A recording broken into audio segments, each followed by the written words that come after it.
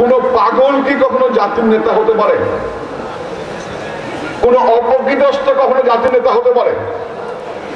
কোন বিকারগ্রস্ত মানুষ কখনো জাতির নেতা হতে পারে?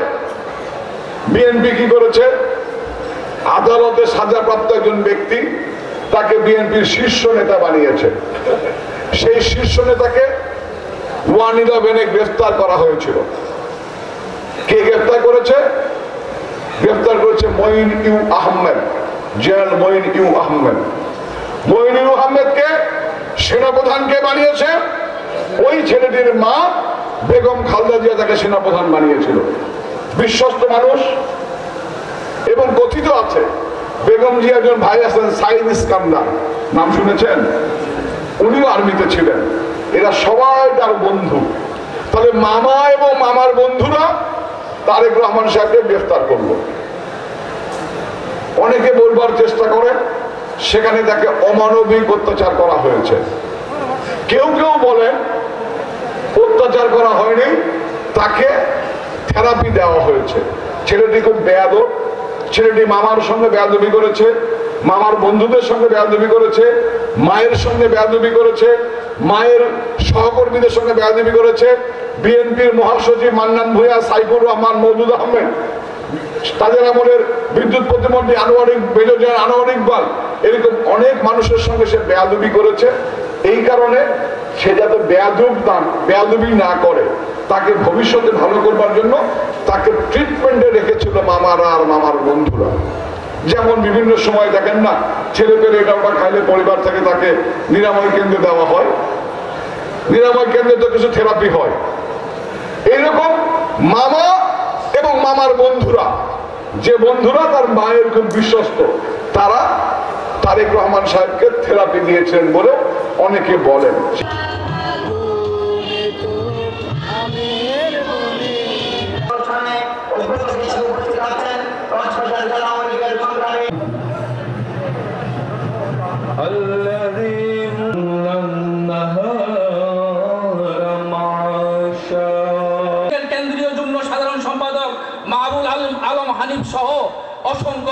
কেন্দ্রীয় নেতৃবৃন্দ মাননীয় প্রধানমন্ত্রী জনতা শেখ হাসিনার প্রদেয় মেগা প্রকল্পগুলি পরিদর্শন শেষে মাতা আল্লাহর নামে আরম্ভ করছি। যিনি পরম দয়ালু, অতিশয় সম্পর্কে, যে সম্পর্কে তাদের মতভেদ রয়েছে। বিছানা করে নিন।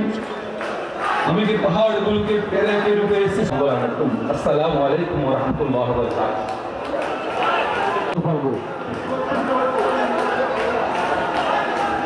বারাকাতুহু গর্ব। কেন্দ্রীয় আওয়ামী লীগের ধর্ম বিষয়ক সম্পাদক অ্যাডভোকেট সিরাজুল মুস্তফা। বিগত ছয় বছরে যা করলাম, তার একটা রিপোর্ট আপনাদের সামনে পেশ করতে চাই। পেশ করার আগে আমি নামে শুরু করছি। আমরা দুই হাজার ষোলো সালের জাতীয় দিবসের প্রাককালে দলীয় কার্যালয়ের আমরা তার আবেদন দিয়েছি মহেশখালী আওয়ামী লীগের পক্ষ থেকে। পরিশেষে কর্মী নবায়নের কাজ শুরু করি এবং বেশিরভাগ আমরা সম্পন্ন করেছি। এই অনুমতি প্রার্থনা করে আমি। করে আমি আমার সাংগঠনিক রিপোর্ট শেষ করলাম। জয় বাংলা জয় বাংলা। এর একটি পুণ্যভূমি আমাদের এই মহেশখালী উপজেলা। এই মহেশখালী উপজেলায় একটি একটা মিছিল আসছে আমরা আপনার কর্মচারীর মাধ্যমে তাদেরকে অভিনন্দন জানাই। ধন্যবাদ। কাদি সুযোগ সবাইকে সংগ্রামী উপস্থিতি আজকে মহেশখালী উপজেলা আওয়ামী লীগের দ্বিমাসিক আমি আমার উদ্বোধনী ভাষণ শুরু করার অনেক কষ্ট করে অনেক সময় ব্যয় করে তিনি আমরা আমাদের আজকের এই সম্মেলনের প্রধান অতিথির আসন অলঙ্কৃত করেছেন। আমি শ্রদ্ধা জানাই আমাদের মহেশকালীর কৃতি সন্তান আমাদের যাকে জননীতি শেখ হাসিনা, বাংলাদেশ আওয়ামী লীগের ধর্ম বিষয়ক সম্পাদক করে, এই আমি শুধু এটুকু বলতে চাই, আমি শহীদ পরিবারের উত্তরসূরি আমি শহীদ চেয়ারম্যানের সন্তান এতটুকু বলতে পারি, এই মহেশখালী উপজেলা আওয়ামী লীগকে এগিয়ে নিয়ে যাওয়ার জন্য আমার পক্ষ থেকে যতটুকু করণীয় সেটা ইনশাল্লাহ আমার শেষ রক্তবিন্দু পর্যন্ত আমি করে যাব এই প্রত্যাশা ব্যক্ত করে এবং আজকের সম্মেলনের সফলতা কামনা করে আমার বক্তব্য শেষ করছি। এক বছর পর আমাদের জাতীয় নির্বাচন অনুষ্ঠিত হবে। সেই নির্বাচনে আমাদেরকে ঐক্যবদ্ধভাবে বিরোধী শক্তির মোকাবেলা করতে হবে। আজকের এই সম্মেলনে আমাদের হোক, ঐক্যবদ্ধ আওয়ামী লীগ, তাদেরকে বিনাশ করব যারা মাননীয় প্রধানমন্ত্রীর উন্নয়নকে সহ্য করতে পারে না যারা মাননীয় প্রধানমন্ত্রীকে সহ্য করতে পারে না যারা আওয়ামী লীগকে সহ্য করতে পারে না আমরা সম্মিলিতভাবে ঐক্যবদ্ধভাবে তাদেরকে প্রতিরোধ করে আগামীতেও মাননীয় প্রধানমন্ত্রীর মনোনীত প্রার্থীকে বিজয়ী করে মা- বাংলার গণমানুষের নেত্রী শেখ হাসিনাকে পঞ্চমবারের মতো প্রধানমন্ত্রী হওয়ার সুযোগ দেব। মহেশকালী কুতুব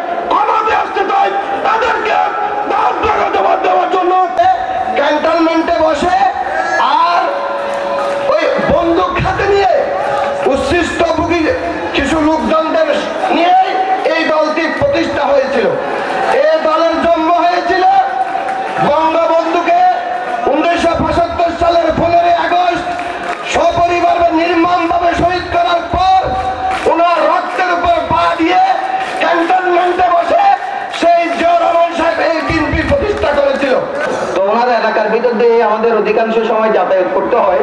তো আমাদের প্রিয় জাফর ভাই, তো জাফর ভাইয়ের জরুরি কাজ আছে।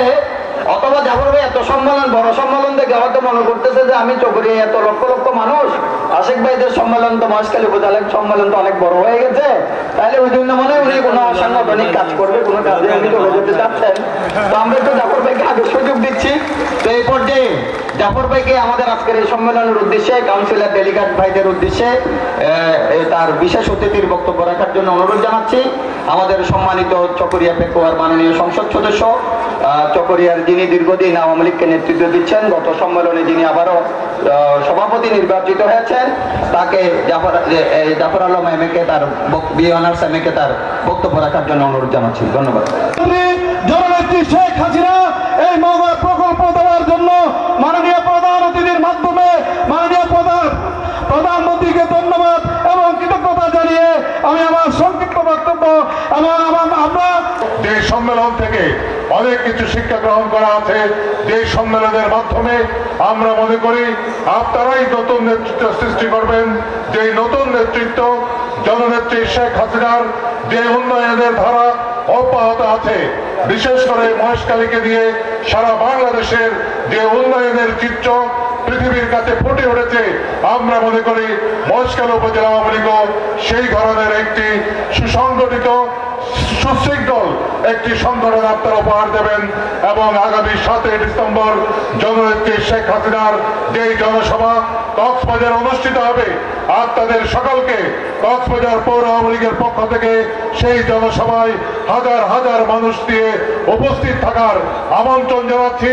কক্সবাজারের বিশাল জনসভা করবেন সেই জনসভায় আপনার সবাই যারা তৃণমূল আওয়ামী লীগ করেন আপনার সবাই এখানে থেকে আমাদের বিরুদ্ধে জননেত্রী শেখ হাসিনার জনসভাকে সফল করার জন্য আমরা ঐক্যবদ্ধভাবে আগামী যারা নেতৃত্ব আসবে তাদের নেতৃত্বে এবং আমাদের এমপি মহোদয়ের নেতৃত্বে আপনার কক্সবাজার যাবেন সেখানে আমরা আপনাদের স্বাগত জানাব ইনশাল্লাহ আমাদেরকে কি কি করেছে, আমরা কি কি করেছি? সরকার কি কি করেছে? আমরা, আমি দুই হাজার পাঁচ সালে মাননীয় প্রধানমন্ত্রীর কাছে যোগদান করেছিলাম, এই বড় মুশকিলে এরপরে ছয় মাসের মধ্যে আমাদের ব্যবসা বাণিজ্য সব তছনছ করে ফেলেছিল। এই আলমগীর মোহাম্মদ মাহবুবুল্লাহ ফরিদের বিতৎকালীন সময়ে। কিন্তু তারপরেও আমরা আওয়ামী লীগ ছেড়ে যাই নাই। দুই হাজার ছয় সালে জনতার মস করার আমাদেরকে নির্দেশ দিয়েছেন, আমরা চৌরাস্তার মোড়ে এক মাস ধরে জনতার মঞ্চ করে আমরা ওনার বিপক্ষে করেছি। তারপরে আমাদেরকে মাম- মামলা মোকদ্দমা দিয়ে চল্লিশ পঞ্চাশটার উপরে আমাদের ব্যবসা বাণিজ্য ধ্বংস করেছে। যে আমরা নাকি এই দেশ থেকে পালানোর পথ পাবো না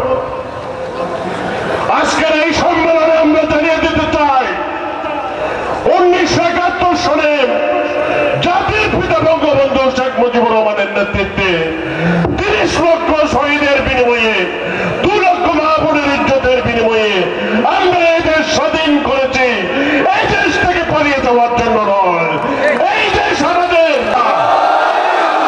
জয় বাংলা জয় বঙ্গবন্ধু শেখ শেখ শেখ মুজিব শেখ শেখ শেখ মুজিব জাতির পিতা শেখ মুজিব সবাই হাত তুলে বলেন দিয়ে জয় বাংলা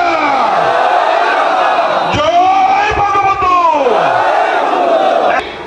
কোন সাজাপ্রাপ্ত দণ্ডিত ওয়ান্টেড আসামির ছবি এই স্বাধীন বাংলাদেশে উত্তোলন করা যাবে না। আপনারা শোনেন, খুশি হবেন। সকরিয়ার সবচেয়ে বড় বিএনপির অফিসটি এই ধরনের দণ্ডিত আসামির ছবি লটকানোর কারণে আমি একেবারে ভালো তালা মেরে দিয়েছি। সেই তালা বিএনপি জীবনে করতে পারবেন না আলোচনার পরে ওই যে উকিলের শাহজাহান, ওরা অনেক চেয়েছে। আজকে হচ্ছেন মহা আনন্দের দিন। আজকে ঐতিহাসিক দিন। আজকের এই সম্মেলন হচ্ছে নব উদ্যমে নব প্রেরণায় সংগঠনকে গতিশীল করার লক্ষ্যেই আজকের এই সম্মেলন অনুষ্ঠিত হচ্ছে। অশুভ শক্তিকে প্রতিহত করার লক্ষ্যে এবং জননেত্রী শেখ হাসিনার হাতকে শক্তিশালী করার লক্ষ্যেই এই সম্মেলন অনুষ্ঠিত হচ্ছে।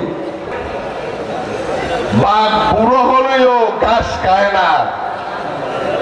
বাঘ বুড়ো হলেও ঘাস খায় না। বাঘ মাংসই খাবে। কাজে এই শিক্ষা কেউ যদি দিতে চান, এই শিক্ষা দিয়ে লাভ নেই। আমরা সঠিক নেতৃত্ব নির্বাচন করব। যারা প্রতিদিন প্রতিহত করার জন্য এই নূতন বাজারে, এই মহেশখালীতে রাজপথে থাকবে শেষ করবে, তাদেরকে আমরা নেতৃত্ব দেব। এই ছেলেটি ক্ষমতায় বসে কি রং হেঁটে কি পরিমাণ বিকারগ্রস্ত, সারা বাংলাদেশে সে জঙ্গিবাদের প্রভাব ঘটিয়েছে। এবং জঙ্গিবাদের বিস্তারের জন্য সে রাষ্ট্রীয় গোয়েন্দা সংস্থা, এনএসআই, রাষ্ট্রীয় গোয়েন্দা সংস্থা, ডিজিএফআই, এসবি, পুলিশ সবাইকে ব্যবহার করেছে। জঙ্গির প্রোটেকশনের জন্য যে ছেলেটি মা প্রধানমন্ত্রী থাকা অবস্থায়, যে ছেলেটি সমস্ত ক্ষমতার দণ্ডমূর্ধের কর্তা হবার পরে, যে ছেলেটি দেশের বিরুদ্ধে ষড়যন্ত্র করে, সেই বিকারগ্রস্ত ছেলে কি কখনো জাতির নেতা হতে পারে? সেই বিকারগ্রস্ত, সেই অপকৃতস্ত সেই মানসিক ভারসাম্যহীন ছেলে কখনো কি কোনো দলের নেতা হতে পারে?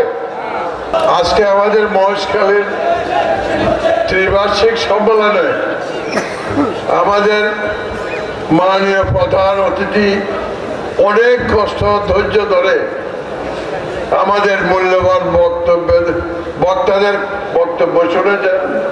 তোর জন্য আমি মহেশখালী উপজেলা আওয়ামী লীগের পক্ষ থেকে মহেশখালী আওয়ামী পরিবারের পক্ষ থেকে অশেষ অশেষ কৃতজ্ঞতা এবং ধন্যবাদ জানাচ্ছি।